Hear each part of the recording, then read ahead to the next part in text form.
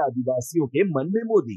क्योंकि पाँच लाख आदिवासी महिलाओं का सपना हुआ साकार। रुपए 500 करोड़ की आर्थिक मदद से फैलाया अपना कारोबार। 20 वर्षों में विकास अपार, फिर इस बार भाजपा सरकार। संकल्प लेने के लिए सात शून्य शून्य शून्य, दो तीन शून्य, दो तीन शून्य आरोप मिस्ड कॉल करें।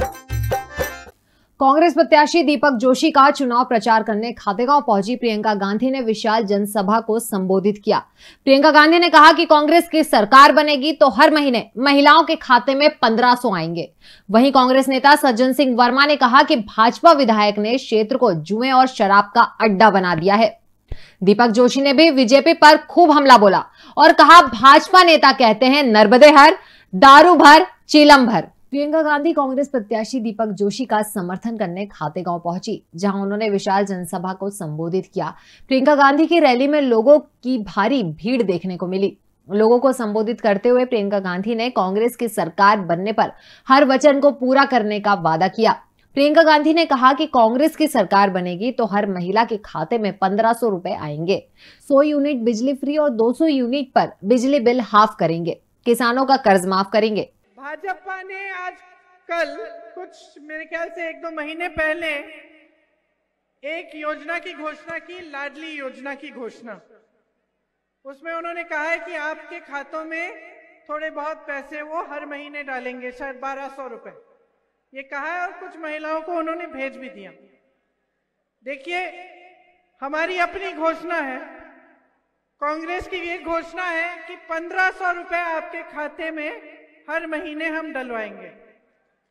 जनसभा में कांग्रेस नेता सज्जन सिंह वर्मा भारतीय जनता पार्टी पर खूब गर्जे। सज्जन सिंह वर्मा ने कहा कि भाजपा के वर्तमान विधायक ने क्षेत्र को शराब और जुए का अड्डा बना दिया है। ये खातेगांव विधानसभा के पास में नेमावर क्षेत्र है ये धर्म क्षेत्र है नर्मदा कल कल करके यहाँ बहती है। यहाँ जैन संत विद्यासागर जी का एक निवास भी यही है। यहाँ पे जो वर्तमान विधायक है बीजेपी का, उसने, उसके साथियों ने इस क्षेत्र को शराब और जुए का अड्डा बना दिया। कांग्रेस प्रत्याशी दीपक जोशी ने कहा कि हम तीन विजन पर काम कर रहे हैं। पहला, हम नर्मदा का जल हर खेत तक पहुंचाएँगे। दूसरा, कुशासन को समाप्त करके सुशासन लाएँगे। और तीसरा, शिक्षा, स्वास्थ्य और रोज़गार के क्षेत्र में काम करके क्षेत्र को प्रगतिशील बनाएँगे। भाजपा को निशाने पर लेते हुए दीपक जोशी ने कहा कि भाजपा अपने आप को सनातन का पर्याय मानती है और भाजपा नेता कहते हैं, नर्मदे हर, ज़िंदगी भर। पर यहाँ तो भाजपा के नेताओं ने इसे बदल दिया है। यहाँ भाजपा नेता और कार्यकर्ता कहते हैं, नर्मदे हर, डंपर भर, बालू भर, दारू भर और चीलम भर। अब चीलम भरने वाली पार्टी को जनता बर्दाश्त नहीं करेगी। मध्य प्रदेश में अब कांग्रेस की सरकार बनेगी। पर्याय मानती है। और कहती है, नर्मदे, हर ज़िंदगी भर, यहाँ के नेताओं ने नर्मदे, हर ज़िंदगी भर को बदल लिया। और यहाँ के कार्यकर्ता और नेता कहते क्या है?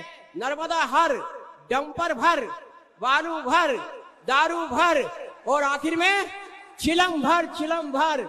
ये चिलम भरने वाले पार्टी के लोगों को अब ये जनता बर्दाश्त नहीं करेगी। ये पलटने के साथ है, हम आपको विश्वास दिलाते हैं, संपूर्ण हमारा क्षेत्र आपके नेतृत्व में मध्य प्रदेश में एक अच्छी सरकार बनाकर आपके नेतृत्व में एक सफल सरकार बनाकर माननीय कमलनाथ जी के नेतृत्व में और दिग्विजय सिंह जी के मार्गदर्शन में इस प्रदेश को वापस कांग्रेस को सौंपेंगे। अच्छी है ना?